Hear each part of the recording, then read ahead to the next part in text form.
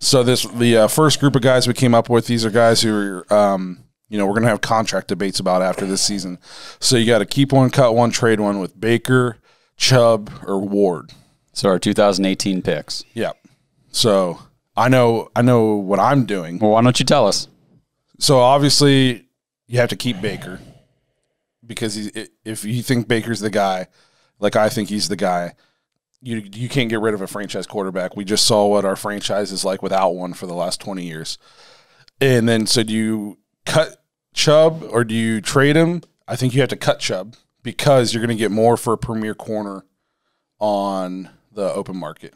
And so that leaves you trading Ward and then you cut Chubb. And it sucks because I'm also all in on we're going to re-sign Nick Chubb, but in this scenario, he's just the odd guy out. Yeah, that's what's that's what's interesting about this whole debate, and I'm sure we'll get a lot of we want a lot of feedback on YouTube on how you would prioritize these players. But in this situation, you can only keep one.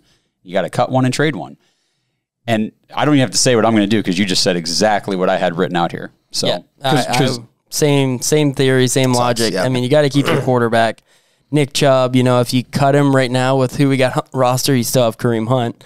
Um, and then, like you said, Denzel Ward is, I think, at least top eight corner in the league, and you're going to get something good back for him.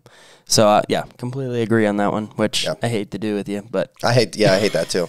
All right. Well, that one went a little bit. I was expecting a little bit of feet, a little bit of fighting because I did too when I wrote that out. I was like, I put the, the cut next to Chubb, and I'm like, oh, I'm going to take some crap for this. but Here, as I much as it- you know, we- and we're going to talk about this um, because Josh's stance on whether we should re-sign Nick Chubb or not is awful. But uh, you know, but i in this scenario, I think that I mean that's what you have to do, especially if you're looking at our roster as a whole.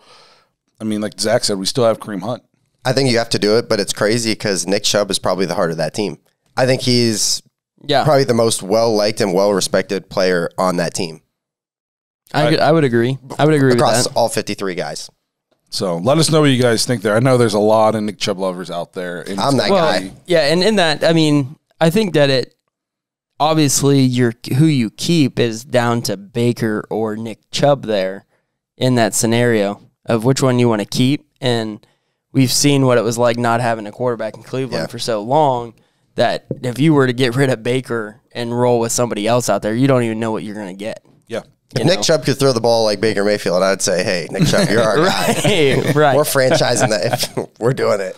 But no, I get it. I'm I'm very okay with it.